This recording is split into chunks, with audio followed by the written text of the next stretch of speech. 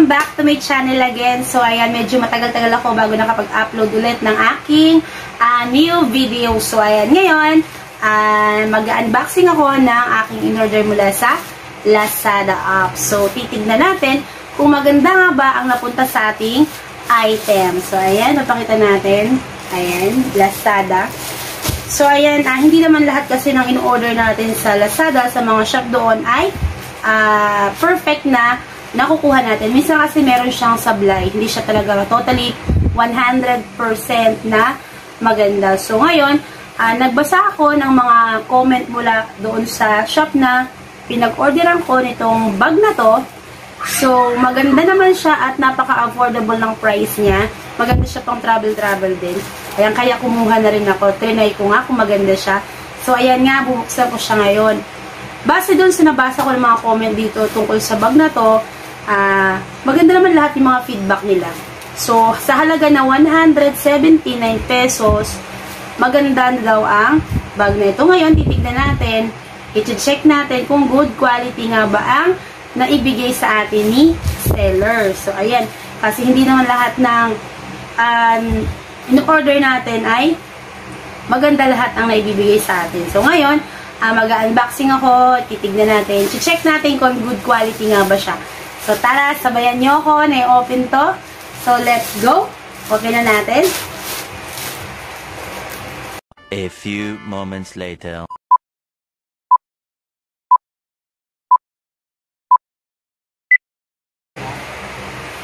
Okay guys, so ayan, kung nakikita nyo, i-check natin yung bag na in-order ko sa Lazada. Ayan. Malaki siya, Ayan. Malaki po siya. Maganda po siya pang travel-travel. Pwede ka maglagay na ng damit mo dito ng mga ilang piraso. Maganda yung kanyang pagkakatahi. Ayan. Matibay yung tahi niya. And then, mukha siyang pang matagalin. Kasi yung, yung ano niya dito, holder niya, ayan, paikot. Ayan siya. Tapos, ayan, paikot po siya. Kaya siya matibay. Ayan. And then, uh, open natin siya. Open natin. Tignan natin ano meron sa loob. Ayan, maganda yung tela, uh, yung nasa loob niya kasi tela. Ayan, makapal yung tela niya. Kung mapapansin nyo. Tapos meron siyang uh, bulsa. Yung isang bulsa niya may zipper. Ayan, may zipper siya. Ayan. And then yung dalawang bulsa niya ulit dito sa kabilang side. Ayan, dalawang bulsa siya. Ayan po siya, o, oh, ayan. Ayan. Pwede ka maglagay mga barya dyan at saka cellphone mo. Tsaka malalim po siya kung papansin nyo. Ayan o. Oh. Malalim. O, diba? Malalim siya. So, ayan. Ito yung kanyang uh, sling. Lalagay natin yung sling niya.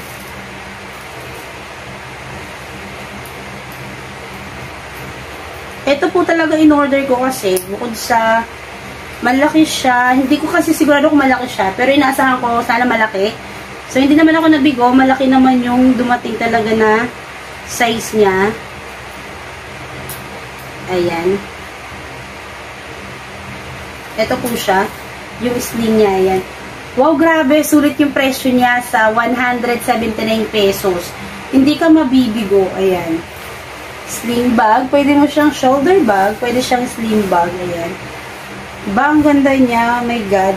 Tama yung kulay na napunta sa akin. Ayan. Yung order ko is navy blue at ang dumating nga sa akin ay navy blue. Navy blue din po. So, ayan guys, hindi ako nabigo kay seller. Maganda ang nakarating sa akin. Ayan, sulit siya. So, guys, bago kayo mag-order sa isang store, uh, mag-check muna kayo, basahin nyo yung mga feedback ng mga customer na nag-order na sa shop na yon Kasi, uh, dun pa lang malalaman nyo kung merong problema sa store o wala. Ayan. So, perfect. Hindi ako nabigo. At ako ay masayang masaya sa na-order kong bag dahil ako ay, uh, ayan, magbabakasyon ako sa probinsya namin kaya ako nag-order ng ganitong bag. Ayan. Para marami ako mailagay.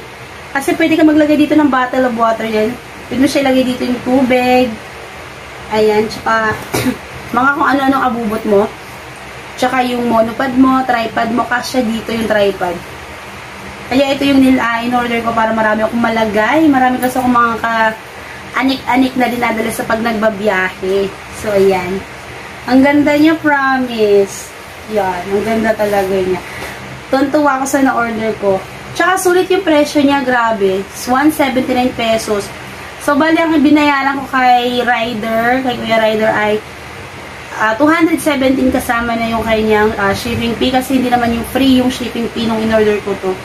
At saka ano lang, 3 uh, days nandito na po yung item na in-order ko kay seller. So, na Oh my God! Wow! Napakabilis ng kanyang delivery. Kaya na, satisfied ka talaga sa store na na, satisfied ako dun sa store na, na nabilihan ko nito, na-orderan ko nito. Tuntua ako kasi ang ganda, akala ko maliit siya, pero nasa isip ko sana malaki. So, ayun, malaki nga talaga. Ang ganda niya, promise. Mukha siyang tatagal. Sulit. Sulit yung presyo niya, 179. Ayan. At successful nga ang aking order today na dumating mula sa kay Lazada. Ayan, happy ako. Happy ako today at ayan guys. Hanggang dito na lang po ang aking vlog na ginawa po today na unboxing sa aking order na bag mula kay uh, Lazada app. At sa mga hindi pa po nagsusubscribe dyan sa aking channel, ayan, guys, please paki-like, share, and subscribe na din po. At para po palagi kayong updated sa mga bag, uh, bagong videos na gagawin ko. So, hanggang dito na lang po. Maraming salamat po sa panonood. Bye-bye!